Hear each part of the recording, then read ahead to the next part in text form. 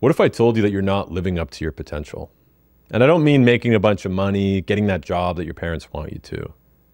I mean your social potential, your ability to spread love just by talking to others, going and approaching strangers you don't know and starting a conversation with them.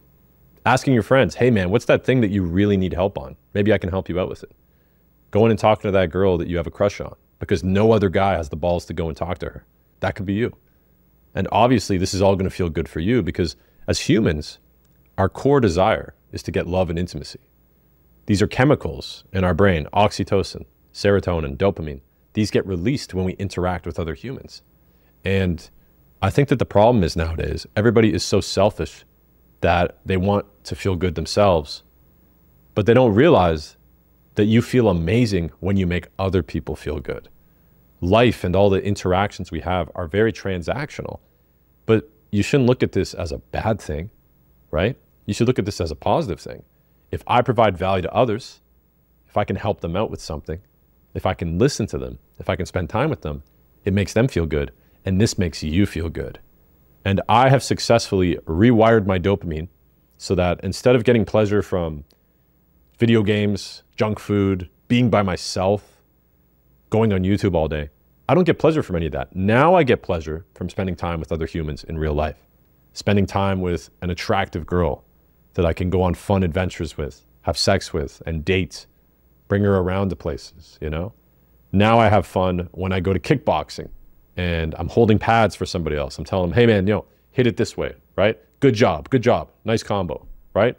When me and my friends hang out once a week and we go for half price wings and we just shoot the shit, I have retrained myself to get love and good feedback and feel good when I'm around other people. And I want to teach you how to do the same thing. But in order to do this, you might have to become a hero in your own movie. Right now, you're on the hero's journey, right? You know, the beginning of the movie, life's rough, just got fired from work, no girl likes you, you're broke, your dad's yelling at you. You're at the part that you've seen in the movie theaters a million times. But you're on the journey to become the hero. So by the end of the movie, you have to solve your own problem, but you realize it's not actually about you. It was about the journey along the way. It was about solving everybody else's problem. And this is what it's like to be a hero. So in this video, we're going to talk about the hero's complex, how you can adapt it to improve your life, but also improve the lives of everybody else. And dare I say, save the lives of everybody else. It's going to be one of those videos. So let's get into it. I had a pretty messed up childhood. I think it's obvious by the fact that I act the way I do. But uh, something about having a weird childhood actually turns you into a very unique individual. Most of the comedians, artists, actors, musicians that you watch, they all had a pretty weird childhood. And that led to them essentially having a really weird algorithm as they developed. And what I mean by this is like, think about your very basic, simple human being. They wake up, go to school, come home, go to church on weekends, they get a job at a factory, and they retire at 65 years old and they raise a family. You know what I mean? It's like very simple cookie cutter person. But then once you start to change a couple of those elements, everything gets drastically thrown off course. The kid has to move, he goes to a different school, he's not as confident because he has to start over, gets bullied, starts to hate school, starts to go home. Maybe he goes on the internet, starts playing video games because now he has something to do with other people that doesn't involve interacting in real life.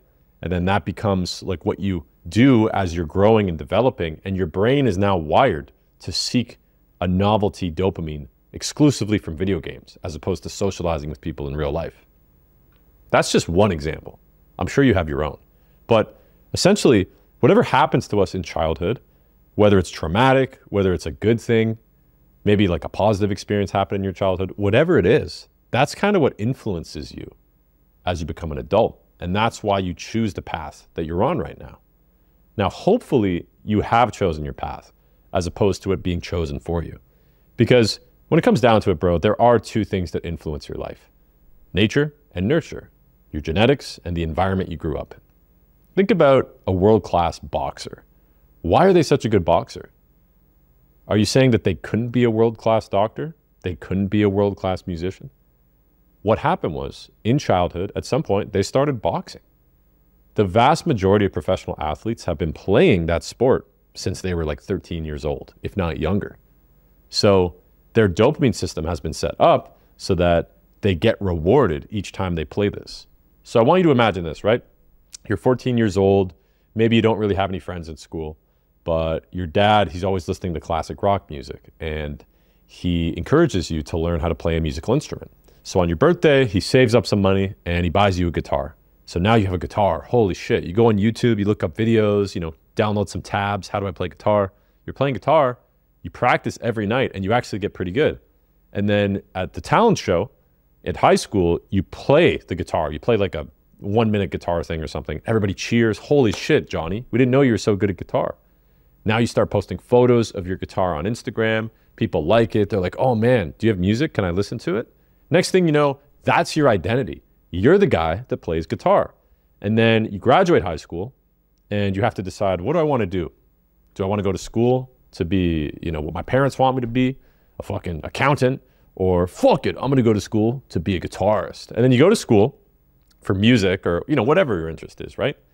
And you realize you can't really make a living doing it. So you're essentially going in debt for four years with something that's probably not to make you money, but it's your passion.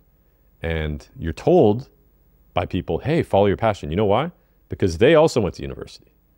And university is a fucking business. So of course they're to tell you, yeah, bro, look, fucking this one guy 50 years ago got a job in your program. Yeah, he teaches here now. you know, so that's a whole other discussion. But you go through this process and then you get out of school, you're in debt, you have this thing you're really good at, that's your whole identity, but you need to find another way to make money. So you either grind your ass off and become at the highest level of that thing you're passionate about. So let's say it's guitar, right? Maybe you do become a world renowned guitarist that performs, you're in a heavy metal band, you tour the world, you actually make a living doing it. But that's like the top 1%. Most likely, you're just going to have that as a hobby, but that is your identity, that is your status. And you work another job that you don't really care about so that when you're done work, you can play guitar. Okay? That's your whole thing. Now, I hope you followed along with this analogy, but this essentially is how your purpose is decided. But what happens is we find a purpose, but we still have universal themes throughout our life, okay? Family, friendship, intimacy with a woman, having children, going to church or religion or whatever it is. There's a certain sport we enjoy watching because in high school, you watched it with your friends, right? So, as much as you do have a purpose, you come to a point where now that you do know what your purpose is, you know what your path is, there's other things to life. Obviously, when you're really passionate about something, you're going to remain passionate about it the rest of your life. But until you find that passion, you don't know what that thing is. So you're constantly scrambling and searching for it. Now, in the meantime, you're also horny as fuck. So you're trying to bang girls, you're downloading dating apps, you're going and trying to talk to girls in your class, but you have no charisma, you don't know how to socialize. So you're getting friend zoned constantly. And I know this is an issue that a lot of guys suffer with. So I actually created a course called Socializer School, which you can check out in the description below. It teaches you how to be a socializer so that guys want to hang out with you, girls want to hang out with you, and you can approach and attract girls in real life, go on dates with them, and get a girlfriend in like 60 days. So I put all that together in a program. Check it out in the description below. But you have all these different things you're focusing on as a young man, right? You're trying to get girls to like you. You're trying to be popular at school. You're trying to find out what your passion is. You also need to make money. You need independence from your parents and your house. It's such a fucking time. And right now you might not be enjoying it. You might be like really hard on yourself, like, oh, fuck, I wish life was easy. Like, I feel so much pressure from my family. School's really hard. I wish girls liked me more. But you feel this way because you're learning and you're going through that process so that you can appreciate it once you succeed at it.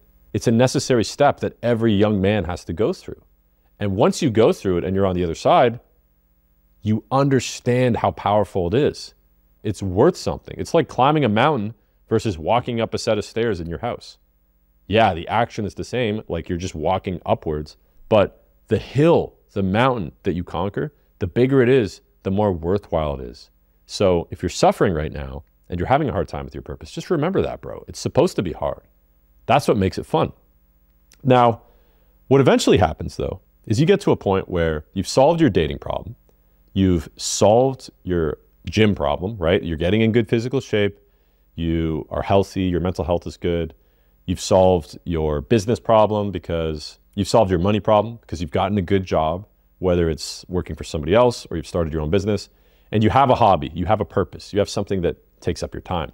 The next logical thing a man does is get into a serious relationship so that he can settle down and start a family. This involves splitting on a house, or you know, if you make enough money on your own, buying your own house, and then the girl moves in with you. And then you kind of decide, all right, if we have kids, can we afford this? What kind of school do we want them to go to? You know, are your parents around to help take care of the kids while you're at work? If both of you guys are working, there's a couple things you have to think about, right? But essentially, being a parent, having children, is you are now a mentor for somebody else. You're bringing this new person into the world. And I think that every man and woman has the potential to be a parent, obviously. But essentially, you're now a teacher. You're now a hero. You're now helping somebody that doesn't know anything. Now, what's happening nowadays is that men aren't succeeding with their purpose. They're not making enough money to settle down. They aren't getting the same dating results that men in the previous generations have because it's a lot more difficult. So, because of this, all of us have this kind of unintentional baby fever to help other people. Or maybe you don't, maybe I just do. And that's kind of what the theme of today's video is the hero complex, why I feel the need to save everybody. Here's what my theory is a lot of girls have baby fever, where their body's essentially telling them since the age of like 20, or even younger than that sometimes, like, you need to have kids. You need to have kids. Why aren't you having kids? right? They have periods, they have hormonal balances, you know, a lot of birth control and shit's fucking everything up. But genetically, the best time to have children is, yeah, early 20s, okay? Now, men, we stay fertile longer. So it's a little bit different, but after a certain age, our sperm quality decreases. I think the age is like 35, 40. So it's actually similar for men and women. The only difference is women are mostly valuable based on their beauty to men, anyways, in their 20s. So that's the best time to have kids, right? Men, we don't become valuable till our 30s, so we have a lot more time. And also, modern marriage is pretty fucked up. Like the laws are very, very dangerous for men. And that's a whole other video, but less people are having kids, right? But I have a theory that as a man, once you've sorted out every other issue you have in your life, you know, you can get girls, you're in good physical shape, you have your own place, and you have a job and income. Now what? Right? This is where people get depressed. They get like midlife crises. This is where your body is kind of telling you the same thing, bro. You should have kids too. And it's hard to argue with like a guy that says like, "Oh, men don't have baby fever." It's like, bro, your body's telling you to nut all the time. What does nutting do? Having a baby. Essentially, that's what nutting is. You're putting your sperm in somebody so that they can give birth to your child. That's all guys are being told to do constantly. But because we're not the ones that birth the child from our body, we don't necessarily feel that same connection with the child as women do. Okay. Obviously, I'm not a father, but you know what I mean? It is a little bit different. So I've gotten to a point though where I don't necessarily want to have children right now, but for the last couple of years, I have felt this need to save everybody else. And I've been trying to understand myself, right? Like, is this because I want kids? Is this because I feel like modern people are stupid and they need help? Is this because when I was younger, there was nobody there to help me? I've been trying to put the pieces together, so to speak. And I wanted to create this video to share that the hero complex, the thing I have, it's a great power. It does come with a lot of responsibility, but I wouldn't change it for the world, bro.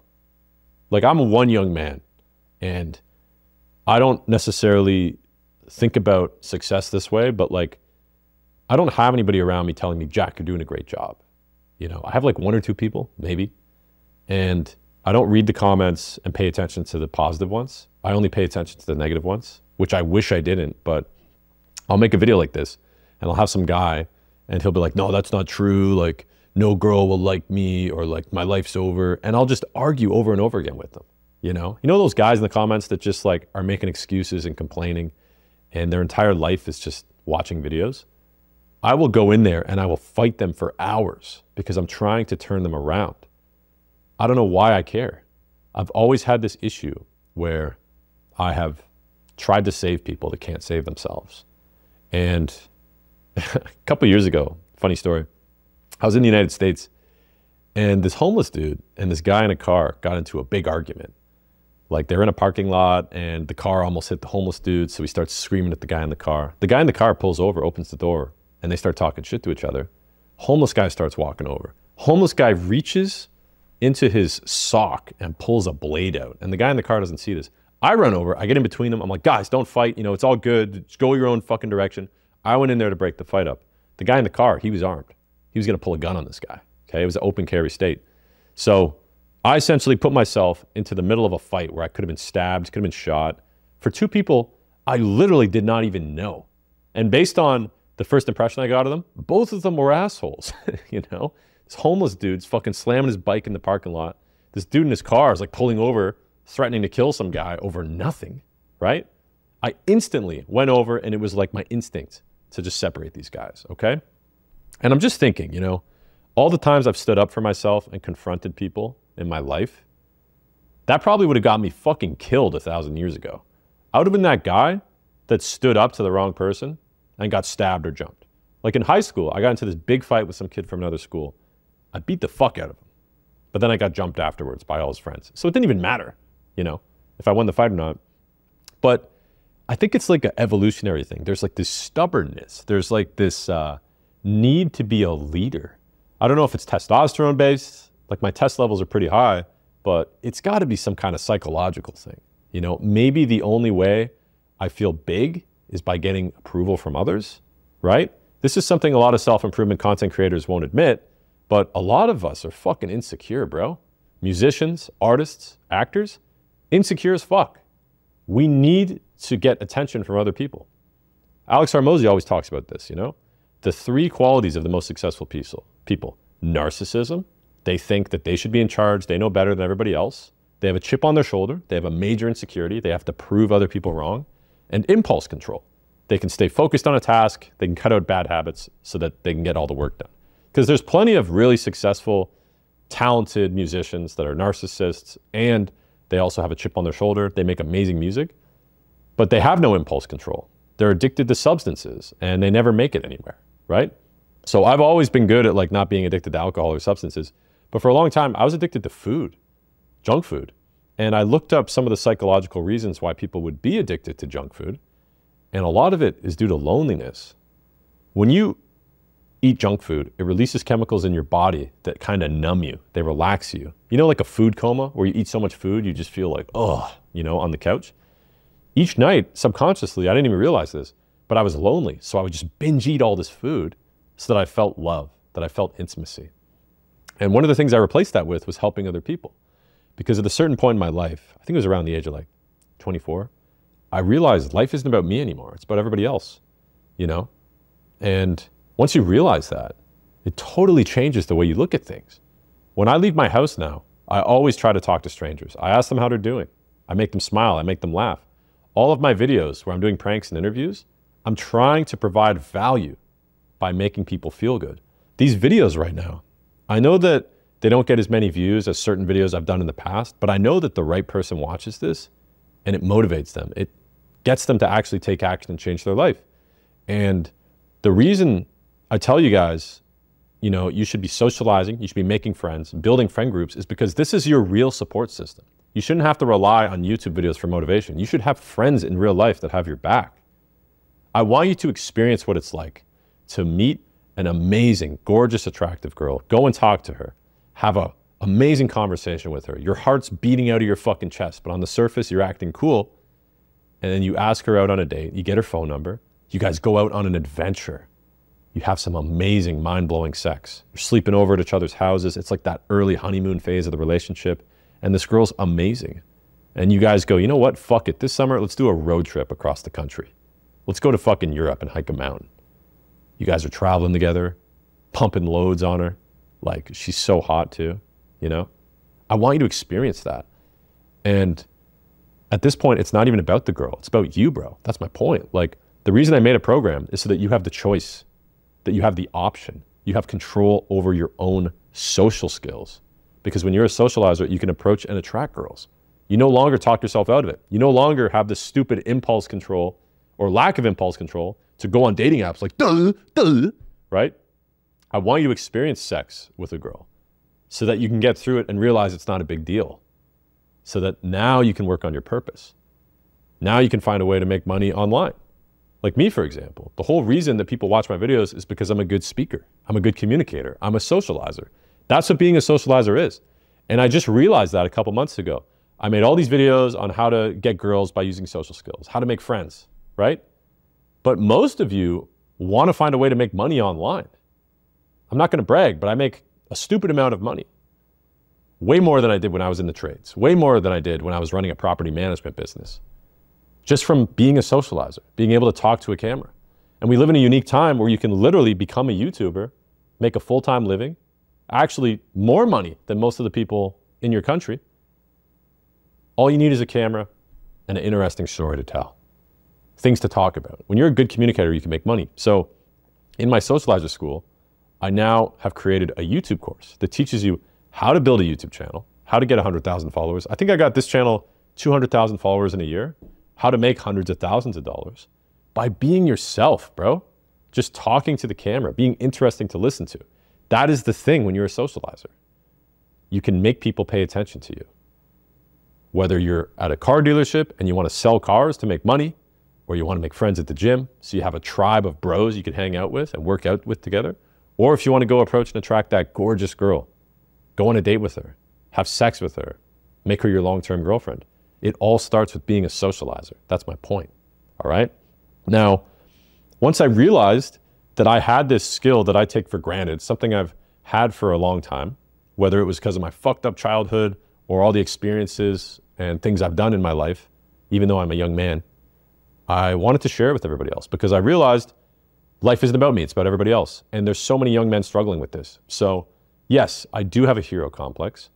And I think that you should have a hero complex too. I think you should want to save everybody else as well. Because when you've been through the shit that I have, you know the stakes of what's going on in life. Like, bro, you don't realize this, but like if you continuously fuck up, procrastinate, and do the wrong things, you're gonna miss out on an amazing life. And if you miss out on life, how are you gonna help anybody else? That's the point, man. I think all of us should have a hero complex. So, one thing I want you to do from now on is go out of your way to talk to people. I want you to leave your house compliment people, smile, go and make a friend group, and then organize meetups each week.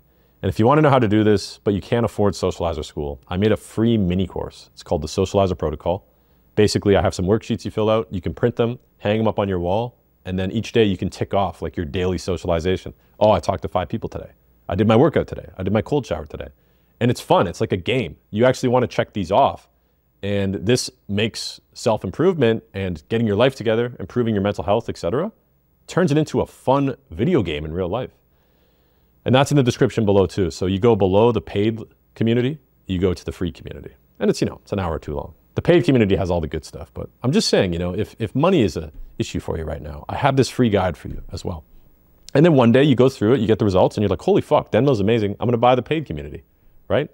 So the point I'm making is like, Hero complexes are a gift. If you feel like you want to help others, this is a gift. You do need to help others. And if you haven't experienced this yet, I'm telling you, it's the best thing in the world. Because one, when you help other people, it forces you to be accountable to yourself. So I can't give you advice unless I do it myself. I can't tell you to work out unless I work out. So the fact that I tell you guys to do all these things means I have to do them too. So that's one bonus. That's why I love it. But two, when you're ever feeling down, you can instantly turn that mood around by helping somebody else. Here's the best example I can give. You're having a really bad day, your girlfriend broke up with you, you got fired from your job, your parents are yelling at you, you're out of shape, you're miserable. You're feeling like ending everything, okay? You go to the grocery store to buy a fucking chocolate bar or whatever. Some old lady collapses in front of you. She falls over instantly. You jump next to her. Oh my God, ma'am, are you okay? Are you okay? She's like crying, she's moaning, she hurt herself. You instantly call for help. You get an ambulance to show up. You help the old lady up, get her on the stretcher. She goes to the hospital. You know, that entire time, you're not even to think about your own problems. You're only thinking about her. Okay? That's the point. When you're present in the moment helping other people, all of a sudden you feel good again. You feel like a human again. So the hero complex, it sounds narcissistic, but this could actually save your life. I encourage you to solve your own problems, but also solve the problems of others. Help people out, volunteer, start conversations with strangers. Whenever you talk to an old person, they tell you their life story. Why? Because nobody talks to them. Their family doesn't talk to them. People look at them like they're a fucking different species just because they're in their 60s or 70s. You have so much power that you don't realize. And once you start talking to people, you start socializing. You're using the socializer protocol. You know, you know how to go to talk to people in public, and you have like a social circle you go to each week. You're going to realize how powerful it is just by communicating with others. Because the ultimate good feeling in the world is human intimacy, love, and we share love by speaking to one another. Okay, and I want you to experience that, and I want you to help others experience that too. So that is what your mission is. You don't have to be a hero. You don't have to have the hero complex but you need to start socializing. And if you want to learn how to do that, you can join my free community to get access to the socializer protocol. Or if you are really looking to get high level social skills, to make money online as a YouTuber, go and approach girls, get a girlfriend in like 30, 60 days, start social circles, just like really high level dating results, you can join my paid community, Socializer School. I'll see you guys in the next video. Peace.